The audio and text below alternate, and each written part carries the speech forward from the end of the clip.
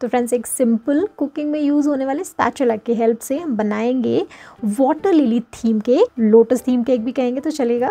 तो इसके लिए मैंने फ्रॉस्टिंग करके रख लिया केक पे और थोड़ा थोड़ा ब्लू कलर की क्रीम मैंने टॉप पे लगाई और इसको स्मूथ कर लिया। ब्रश से इस पर एक स्वर्ल के जैसा बना लिया जिससे कि वाटर का इफ़ेक्ट क्रिएट हो गया। फिर मैंने लिया है एक स्पैचुला जिसका टिप है ओवल शेप का। तो इसी ओवल शेप के प्रिंट हमने लगा लिए हैं केक के ऊपर और अभी रोज़ पेटल नोज़ल में ग्रीन कलर की क्रीम फिल करके इन्हीं प्रिंट के ऊपर बड़ी बड़ी लोटस की पत्तियाँ की जैसी हम बना लेंगे। ग्रास नोज़ल में येलो कलर की क्रीम इससे हम एक एक तरफ़ ड्रॉप रखते चले जा रहे हैं। फिर मैंने सनफ्लावर नोजल में पिंक एंड व्हाइट कलर की क्रीम फिल करके येलो वाली क्रीम के आसपास वाटर लिली की जैसी पेटल्स बनानी शुरू की। और उतनी सारी बना ली जितनी हमें बड़ी वाटर लिली या लोटस का फ्लावर चाहिए।